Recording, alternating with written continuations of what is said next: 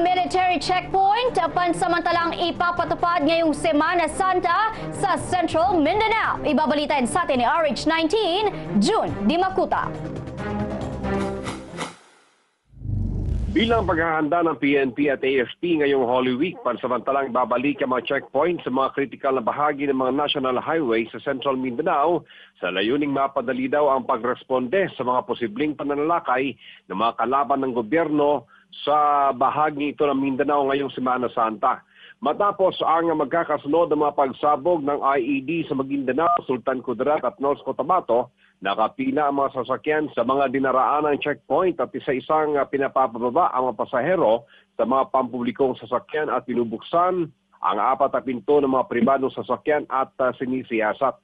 Sa Maguindanao, nagpapatuloy pa rin ang security and law enforcement operation ng PNP at militar laban sa BIFF matapos na mapatay ang isang sundalo ng engineering battalion sa barangay Tucanalipaw, Mama sa Pano. Sa probinsya naman ng Sultan Kudarat, magkatuwang ang Provincial Police Office at uh, 33rd IB ng uh, Philippine Army laban sa mga lawless elements, New People's Army at BIFF. Samantalang sa makilala North Cotabato, minamatsaga ng PNP at 39th IB ng Philippine Army ang galaw ng mga People's Army na lumulusob sa mga barangays at bayan-bayan upang makapang-recruit, makadiskarte ng pera at mga armas.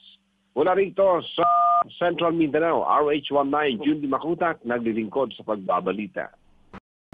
I-like po ang page ng DZRH News Television para updated at i-share ang trending news na balitang ito para mas marami ang makabalita. At mag-comment para alam namin ang opinion mo.